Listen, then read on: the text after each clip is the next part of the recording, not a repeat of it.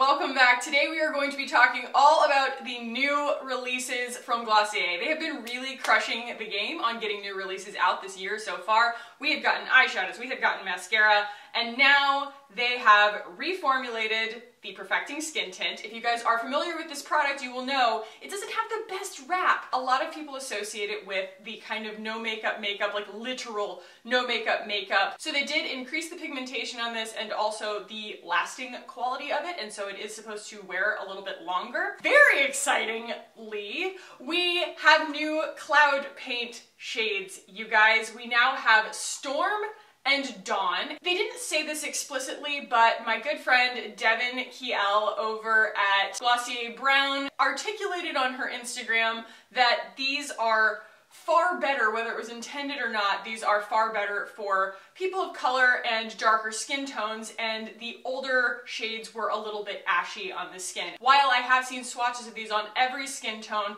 apparently these are better for deeper skin tones, so that is fantastic. Good on Glossier. So today we are going to be putting all of this on my face. I also finally bit the bullet and bought the gloss. I'm going to be swatching these new cloud paint shades against the old cloud paint shades so that you guys can see for comparison, at least on my skin tone, I don't have all of them. I'm missing one. I don't know which one it is. You guys will get to see a good little spectrum there. And let's go ahead and jump in, guys. All right, gotcha moved in, and we are going to go in on this face here. I have swatched this so far, but I have not used it yet, and I have also been reading the Slack channel for the Glossier reps, and apparently this really does pack a pigment punch. So I'm going to go ahead and go like Instagrammy on you guys and just do this. I have my Glossier sunscreen on, the Invisible Shield. I have my skincare on, which is Sunday Riley. And where did I just get that? I just got that on my shirt. It's fine. All right, we're gonna go fingers here because that is really the suggested way of applying Glossier products using the warmth of your body and your hands. I'm trying to do this in my viewfinder so you guys can sort of see the blend in real time. So, what do we think?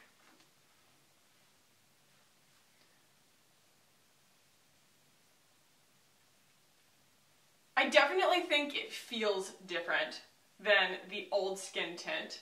The old skin tint was super, super thin, and this does have a little bit more viscosity to it. While I still have that very sheer Glossier experience happening on my face right now, I can still see my freckles, I can still see the imperfections and stuff, I still think that that is a more agreeable level of coverage for what I would expect for paying for a product. It evened my skin tone out crash. It color corrected a little bit. I think that that's really pretty. Like, I would just leave the house like that. That's fine with me. So we're going to next go in with some concealer, and this is the Stretch Concealer from Glossier, and I love this stuff. I mean, they didn't reformulate this. I just really like it. We're going to go, I think, for a little bit more look today than usual. This isn't just going to be a full face of Glossier. I'm going to go for a liner and some different mascara.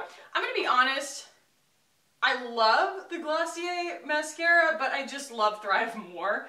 The Thrive rinses off cleaner and doesn't spread across my face over the course of the day. There's something about the Glossier mascara that if you wear a full face of Glossier but not powder, the mascara will still kind of creep underneath your eyes and that drives me crazy. While I think it's beautiful and I think that it is a really, really good mascara for the price, I still just prefer the look and the performance of the, the Thrive mascara. I just don't know what's ever going to shake me loose from that. I am menstrual right now, so I've had a couple of sort of hormonal zits, but all things considered, I'm sitting pretty on the skin situation. Really can't say enough about my Sunday Riley regimen. I love it so much. It is so worth the price. Okay, concealer, you're good, girl. Thoughts on the Perfecting Skin Tint? I could see wearing that every day. I would say it's about half as much coverage as a Laura Mercier Tinted Moisturizer. It is low, low key. But if you are the kind of person who is really looking for some low, low key makeup, I would say that they have vastly improved the formula here and I really, really like it. I did shake it a good bit first off camera, so I would definitely recommend doing that so you don't end up with kind of a waterier consistency. We're going to go in with some Wowder on my visage. I'm going to kind of go all over.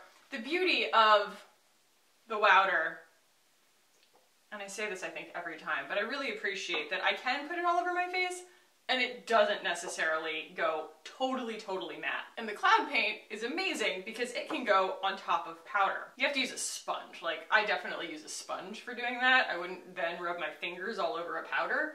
But if you just kind of blot it on top of the skin, it works really nicely. All right, no complaints so far. I think my face looks pretty. I think my face looks pretty. All right, let's go ahead and get some swatches going here before I start placing this on my face. Here we have the swatches. So this is Dusk, Puff, Beam, Dawn, and Storm. So Dusk has always been kind of a bronzer shade for me. The Puff has always been a little bit too pink for me. I prefer Beam on me from kind of the older ones. The new one here, I'm running out of fingers, is a far more poppy shade, which is very, very pretty, I think. And then this, I think, is, again, a really nice tone for deep skin tones, but we are going to kind of use both on me today. And I'm going to do what I always do, kind of put this on the back of my hand, and I'm going to take a beauty sponge, and I'm using the Real Techniques beauty sponge just because it was the one that I had I know it doesn't look clean, but it is clean. I always kind of blot it out on the back of my hand so that I don't end up kind of placing a whole bunch of color in one place on my face at once.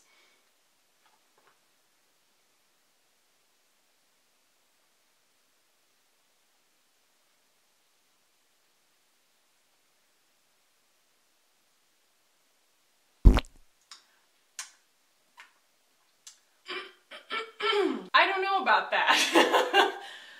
Um, not sure that's my shade. uh, oh, let's wipe that off. Actually, once I wipe it off, it looks...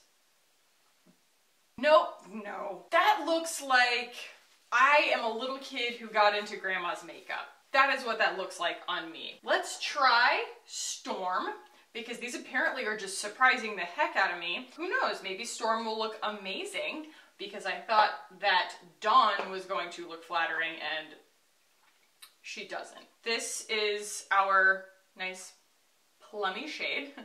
I might be doing a full wash off here in a minute.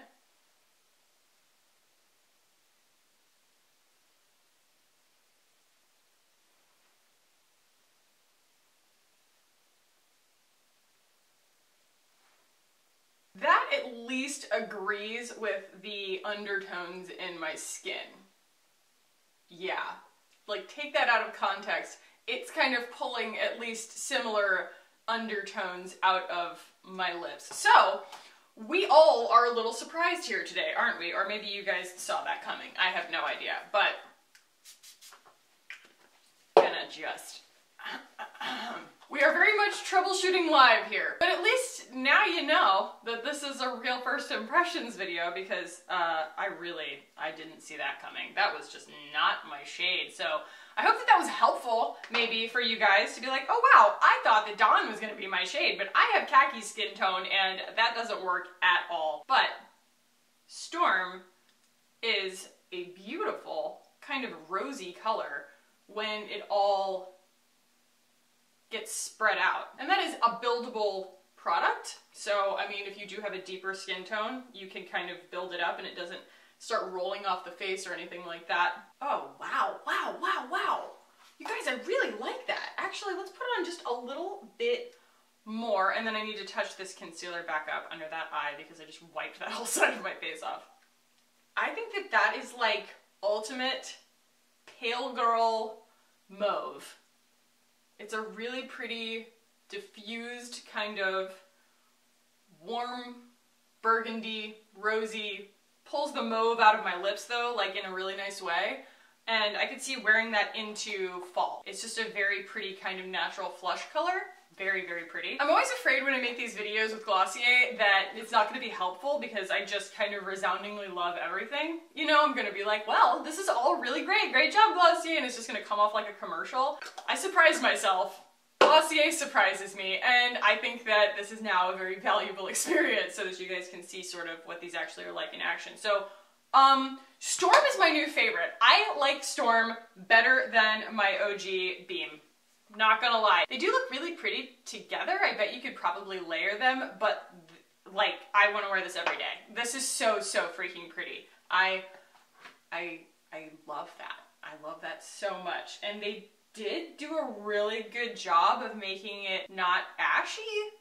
Ashy being not something that typically happens to me, but Puff, for example, comes off so pale that you can actually see almost like a white in the pigment instead of it being a really pretty wash of color and this is nailing that wash of color effect. I wonder what would happen if we put a little bit of it on my lips because I was not anticipating this being such a flattering kind of deep color on me.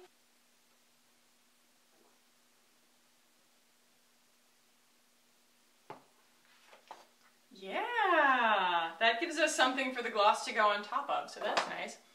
Nice little kind of blotted situation without it being totally overwhelming on my face. At least I hope it's not totally overwhelming on my face. Alright guys, so I'm going to throw on some brows and some eyeball nonsense and I'll be right back. Okay, so we are going to go in now with a little bit of the Glossier lip gloss.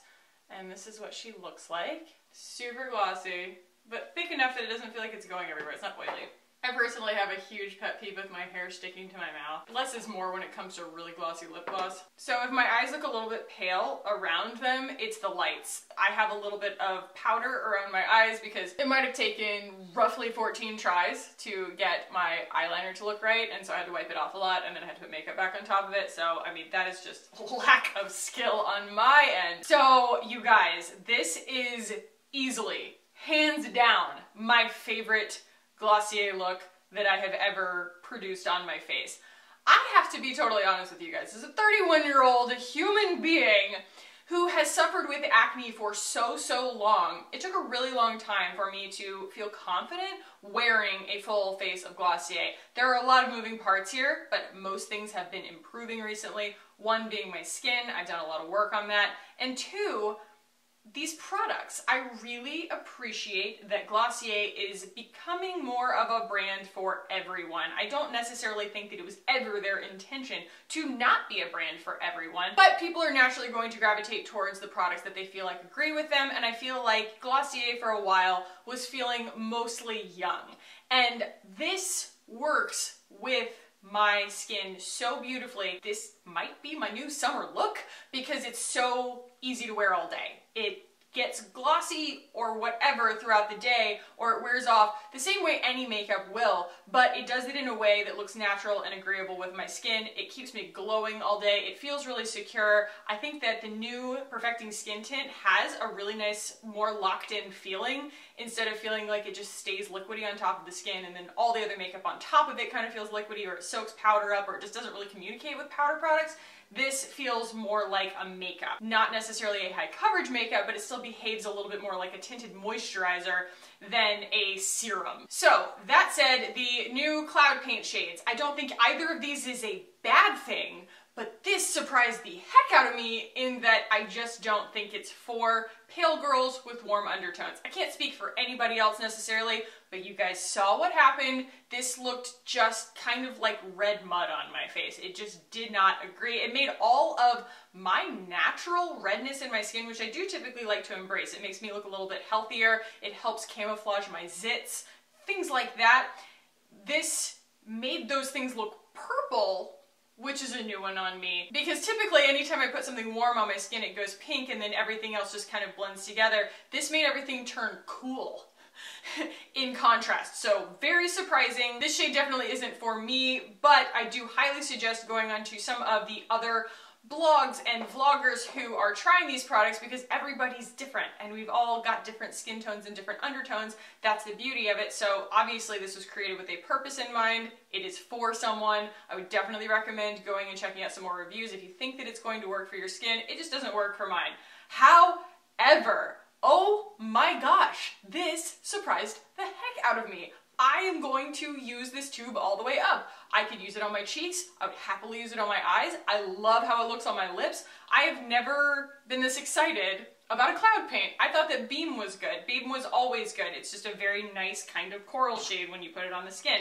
And it has a little bit of an orange undertone to it, so it kind of agreed with me. But this is a true watercolor, wash of color, texture, and the, the actual shade itself is so gorgeous. It just sheers out so beautifully. It really pulls I think, the most flattering tones out of my skin instead of being, again, very orangey red. It's a really nice kind of like burgundy aubergine.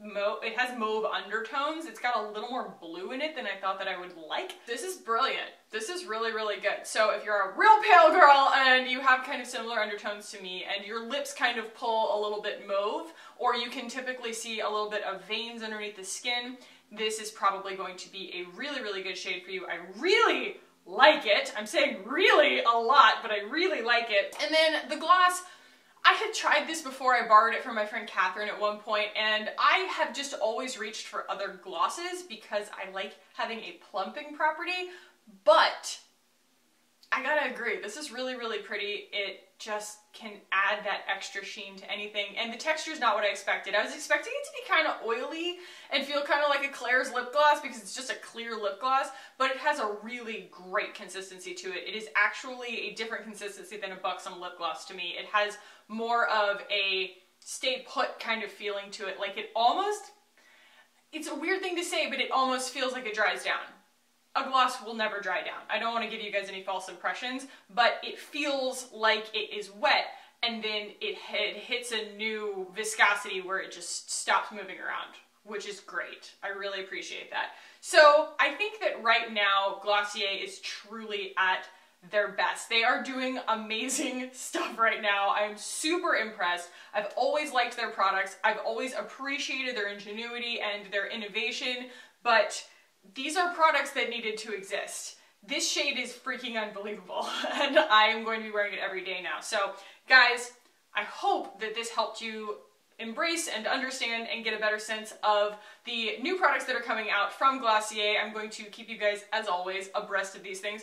Full disclosure, I am a rep with them, so you guys can get 20% off of your first order on Glossier using the link below. It is glossier.com forward slash reps forward slash kackie. Again, 20% off. Guys, if you enjoyed this video and you enjoy me kind of introducing you to the new Glossier products as they come out, give this video a thumbs up. Would really appreciate that. Leave me a comment below letting me know what you thought of this. I'm sure it evoked some thoughts from you guys watching that shade not really work on my skin or watching this shade work well on my skin surprisingly or the new Perfecting Skin Tint is it enough coverage to qualify for someone who didn't like the old one? Just let me know your thoughts down below, guys. If you are new and you want to keep hanging out with me on this channel, guys, hit the button down below and subscribe. I would love it if you did. Thank you so much for watching. I love you guys, and I will see you in the next one.